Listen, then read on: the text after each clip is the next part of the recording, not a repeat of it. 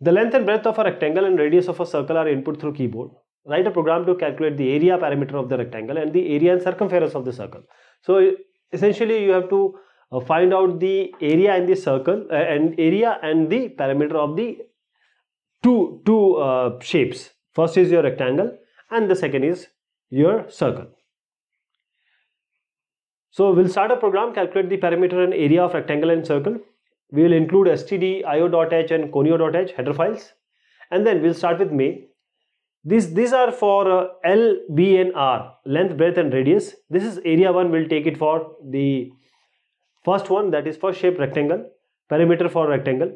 Then the second one will take float because we know that uh, in this uh, circle pi that is 3.14 is involved. So this is a decimal value.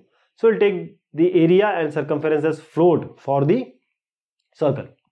Now what we will do, we'll clear screen and we'll ask for length and breadth from the user and we'll take it in L and B. This percentage percentage scanf will do. So L and B will be length and breadth.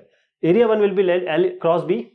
Perimeter will be 2 into L plus B or 2L plus 2B. This will be area 1 and perimeter. You can print it here. Printf this area 1 and printf this uh, perimeter. So this will be printed.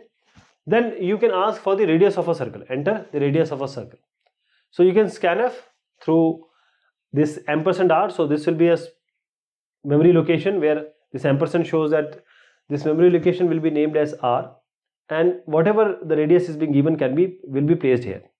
Now area of the circle will be pi r square. So 3.14 will be taken as 3.14 is for pi r into r and circumference, circumference will be 2 into pi into r 2 into 3.14 into r. Now area 2 can be printed and circum will, will be printed circumference. This will be percent f and percent f and you can come out. This getch for is for essentially that purpose only